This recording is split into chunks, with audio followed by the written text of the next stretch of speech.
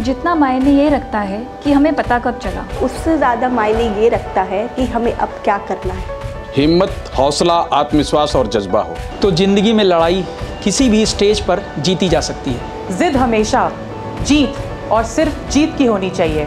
भले ही वो लड़ाई अपने खून में घुले हुए कैंसर से क्यों ना हो और इसीलिए हम सभी समर्पित हैं। अंतिम सांस तक न खुद हार मानेंगे और ना मानने देंगे। क्योंकि उनके इस संघर्ष में हम भी हैं उनके साथ। हम सभी का है एक ही संकल्प। मकसद। और उद्देश्य। हर कैंसर वॉरियर को बनाकर रहेंगे। Cancer survivor. अगर जीने की इच्छा शक्ति और जीतने की चाह हो तो मौत को भी मात दी जा सकती है।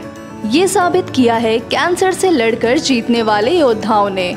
मीओपी इस ब्लड कैंसर अवेयरनेस मंथ के मौके पर हर कैंसर सर्वाइवर के संघर्ष और कैंसर पर उनकी जीत को नमन करता है और कैंसर से लड़ रहे वॉरियर्स के जल्द स्वस्थ होने की कामना करता है।